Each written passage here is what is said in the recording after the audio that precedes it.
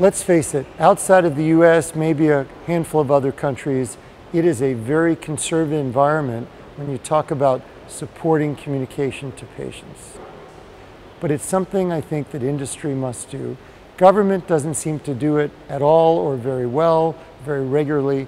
And now as we have chronic conditions and many chronic cancers, people on long-term therapies that are changing, evolving, I think it's really important for industry to step up to the plate and to really, in a digital age, look at who are all the players that you need to support. Not just the traditional advocacy groups, but patient opinion leaders, leading physicians who are communicating on Twitter and Facebook with patients, all changing rapidly. And you need to say, how can I be a strong community member?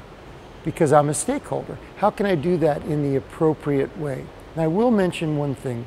Typically, you put money, as you do patient communication, into some websites and other offerings under your control. But that is not typically what patients are looking for. They're looking for frequency of content that's changing rapidly, and it's not what you can do under your own control in your regula regulated environment.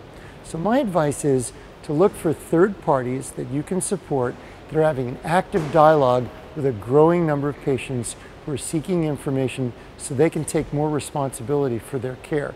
If you do that, everybody wins.